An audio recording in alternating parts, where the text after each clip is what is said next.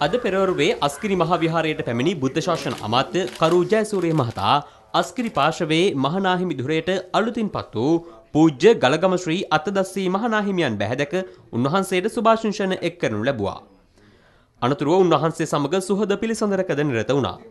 මෙහිදී උන්වහන්සේ බුද්ධ ශාසන අමාත්‍යවරයාට සඳහන් කළේ සියලු ජාතීන් සමග එක්ව කටයුතු කිරීම රජයේ යුතුයකමක් බවයි. ඒවයින් සියලු ජාතීන් එකට එක්කාසු කරගෙන සමගි සම්පන්නව කටයුතු කිරීම පිළිබඳව තමයි අපි හැම අවස්ථාවකදීම අනුශාසනා පවත්වන්නේ. රජ වෙනුවෙන් අපේ බුදු ශාසන අමාත්‍යංශ වෙනුවෙන් අපේ සුභාසිංසනත් ඒ වගේම ඉදිරියේදී උන්වහන්සේගේ ඒ පදවි ප්‍රාප්තිය සම්බන්ධයෙන් පැවැත්වෙන උත්සවය ගැන කතා කරන්න පැමිණි. තෙන්දී උන්වහන්සේ සමග රටේ විවිධ ප්‍රශ්න සම්බන්ධයෙන් ඉතාමත් වැදගත් සාකච්ඡා පැවැත්වුවා. ඉතින් මැතිවරණ ක්‍රමය සම්බන්ධයෙන් මට කියන්න තියෙන්නේ අපි පසුගියදා ජනතාව හමුවට ගිහිල්ලා දින 100ක වරමක් ඉල්ලුවේ මේ රටේ ප්‍රජාතන්ත්‍රවාදී ස්ථාපිත කරන්න යහපාලනයක් ඇති කරන්න විධායක ජනාධිපති පදවිය අහෝසි කරන්න මනාප ක්‍රමයේ තුල තියෙන විවිධ ගැටලු මනාප ක්‍රමයෙන් ඇතිවෙන අහිතකර දේවල් අපි රටේ ජනතාව අති බහුතරයක් තේරුම් ගන්න තියෙන නිසා නිසා දැන්ට යෝජනා කීපයක් ඇවිල්ලා තියෙනවා. ඒකද එක්සත් ජාතික පක්ෂ රජය විසින්ම